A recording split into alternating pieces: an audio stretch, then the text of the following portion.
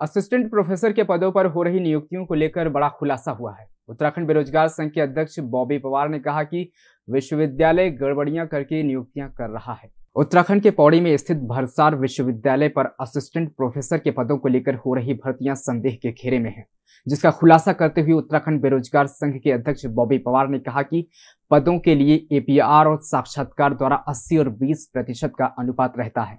लेकिन 2016 में तत्कालीन वीसी ने अकादमिक परिषद की सहमति के बिना ये अनुपात 60 और 40 प्रतिशत का कर दिया, जबकि विज्ञापन में आज भी 80 और 20 प्रतिशत का ही अनुपात है। लेकिन विश्वविद्यालय नवीन विज्ञापन के बजाय अपने अनुसार नियुक्तियाँ कर रहा है, जिसको लेकर उत्तराखंड बेरोजगार संघ लंबे समय से विरोध प्रदर्शन करता रहा है, जबकि जो नौजवान नेट और सेट की परीक्षा पास कर चुके हैं, उनको प्रतियोगिता के इस दौर से बाहर करने का काम किया जा रहा है। देखिए, वीरचंद सिंह गढ़वाली औद्यानिक एवं वानिकी महाविद्यालय जो उत्तराखंड भरसार में है, पौड़ी गढ़वाल में, वहाँ पर जो पूर्व में जो नियुक्तियाँ हुई थी असिस्टेंट प्रोफेसर एसोसिएट प्रोफेसर और प्रोफेसर की जो नियुक्तियाँ हुई थी उन नियुक्तियों में भारी भरकम भ्रष्टाचार हुआ है। वो नियुक्तियाँ जो हुई थी जहाँ पर मैंने पूर्व में भी कहा है कि जो आ, जो कार्यवाहक कुलपति होता है उसे कोई अधिकार नहीं है कि कोई भी इस प्रकार की नियुक्तियाँ करें।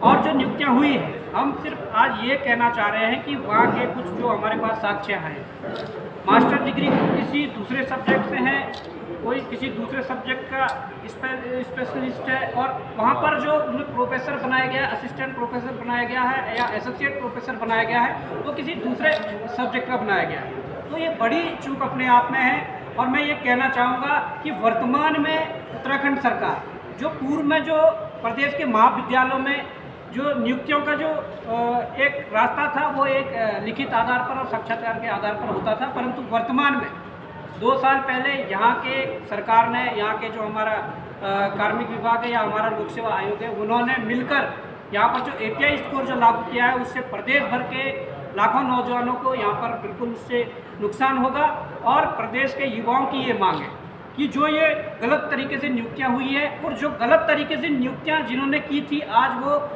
जो नियुक्तियाँ भविष्य में होनी है, उन, उनके ये पैनल में ये सभी लोग हैं जो गलत तरीके से नियुक्त हुए थे उन सबकी जाँच हो और वर्तमान में जो एपीआई स्कोर द्वारा आप महाविद्यालयों में जो असिस्टेंट प्रोफेसरों की नियुक्तियाँ करना चाह रहे हो, उस पर रोक लगे और एक लिखित आधार पर और साक्षात्कार के आधार पर वहाँ पर नियुक्तियाँ हो। मध्य प्रदेश की महिलाओं के आर्थिक सशक्तिकरण के उद्देश्य से संवेदनशील मुख्यमंत्री शिवराज सिंह चौहान द्वारा मुख्यमंत्री लाडली बहना योजना का उपहार सभी पात्र महिलाओं को दिया गया है।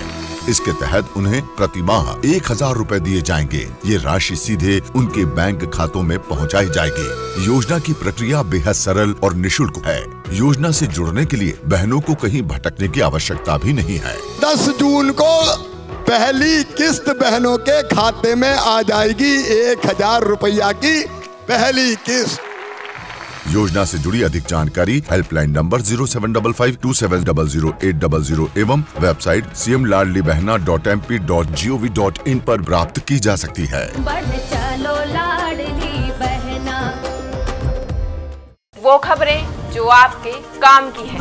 वो खबरें जो आपके लिए ज़रूरी है। हर आम और खास से जुड़े मसले। हर मसले का सटीक विश्लेषण। हम करते हैं सत्य का अन्वेषण। दखल न्यूज़। आपके हक में। आप देख रहे हैं दखल न्यूज़।